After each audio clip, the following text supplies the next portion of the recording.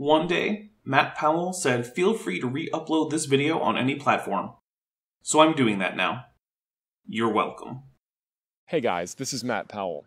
So, after the duck-billed dinosaurs surfed to Africa and went extinct, and after the sauropod dinosaurs farted themselves into extinction, there was one species of dinosaurs that made it through these many, many millions of years of time.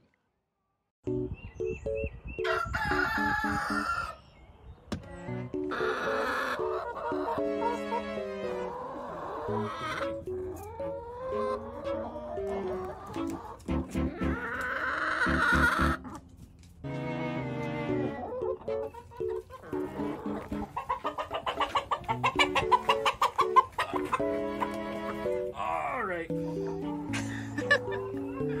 Got my friends. I'm gonna get a couple more, okay? you two have been chosen for this video. Fine.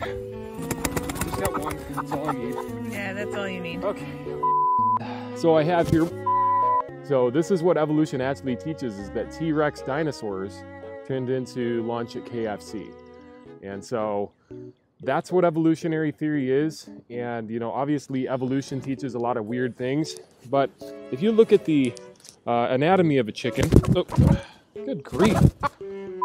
So if you look at the build of this chicken, you can see that it clearly descended from a T-Rex. Not really.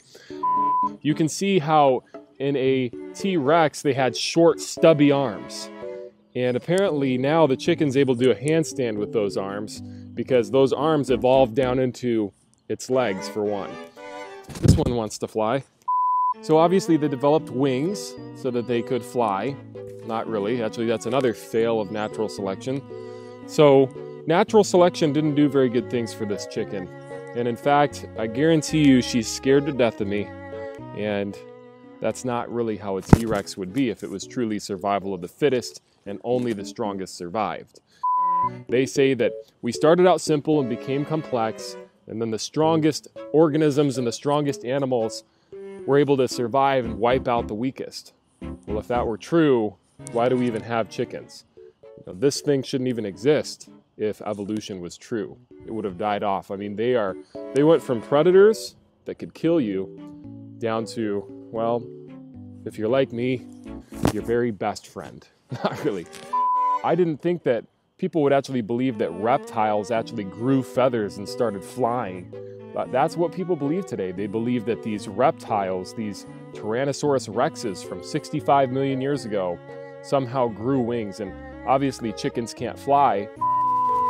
So here's the thing if you're an evolutionist and you're looking for dinosaurs and you want to find dinosaur bones, look, you could find some live ones today. Right here in my hands, I actually hold proof of evolution. Hold still, hold still.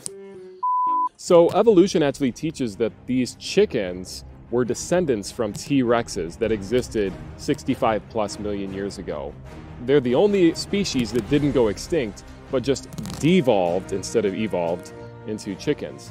And so this is just a proof that natural selection fails for them, even if this was true, because natural selection, they say, sets genes up for the benefit of the species and selects those genes that benefit the T Rex. But here's the thing the chicken didn't really get benefited by this. In fact, the chicken went from being a predator in evolution theory to one of the biggest preys that are out there in creation now. They constantly have to put up fences and stuff to keep these things in and keep them protected from animals because otherwise they're going to get destroyed. So to say that the greatest creature of all time, the T Rex, the most fierce animal, devolved into a chicken, and people actually believe that, folks, it just goes to show that evolution theory is a complete joke on all fronts. It's a complete joke and a fraud. Anybody who just takes a moment to consider what evolution actually teaches about dinosaurs in general, it just goes to show the facts are on our side, and the fiction fairy tales are on the evolutionist side. Evolutionists claim that natural selection is proof that the strongest survive. But here's the thing 65 million years ago, if evolution were true, this would be your worst enemy right here. This thing would have eaten you alive for dinner.